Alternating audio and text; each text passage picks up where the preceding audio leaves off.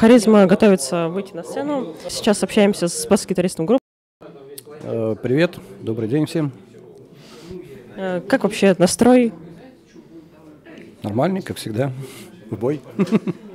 Прекрасно. А вот в субботу, получается, выступали вот э, только гитары и бас, ну и барабаны. Вот насколько сложно было ну, вот, сыграться в такой вот обстановке?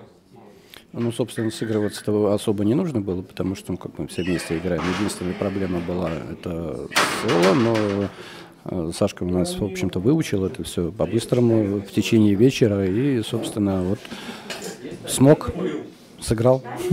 Может быть, э, конечно, не, тот саунд немножко был, ну, не та мощь, но я думаю, что мы сделали то, что хотели. Ну да, было действительно круто. И, и вот э, какие сейчас, в принципе, творческие планы Харизм? То есть вот пишутся песни, можете рассказать свое мнение об этих песнях? Ну, песни, то, что будут э, сейчас выходить, которые готовятся, они, собственно, в нашем духе. А, вот, э, немножко утяжелились, немножечко более техничные э, будут песенки. Одну из них сегодня мы будем играть на концерте. Вот, материал движется, собирается. Ну, естественно, оно все как работает, то есть сделали, посмотрели, что-то переделали, что-то доделали, вот доводим до ума, и, собственно, скоро, я думаю, все это будет. Это круто. Вы принимаете участие в создании композиции? А, ну, в той или иной степени у нас все принимают участие понемножку.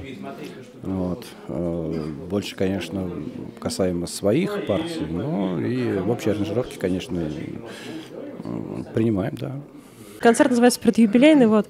А почему именно такая, э, такое название? Это как бы как-то выделить его на фоне остальных выступлений, либо же это просто вот, ну, придумали такое название, чтобы, чтобы что-то было? Ну, я даже не знаю. В общем-то, я думаю, что это более больше вопрос к организаторам концерта, но тем не менее, да, это в преддверии юбилея концерт, который вот, юбилей будет у нас весной. Вот, и вот, собственно, да, в преддверии юбилея, а как еще его назвать? Логично. А будут ли туры с э, юбилейным концертом, то есть по каким-то крупным хотя бы городам? Ну да, конечно, планируется.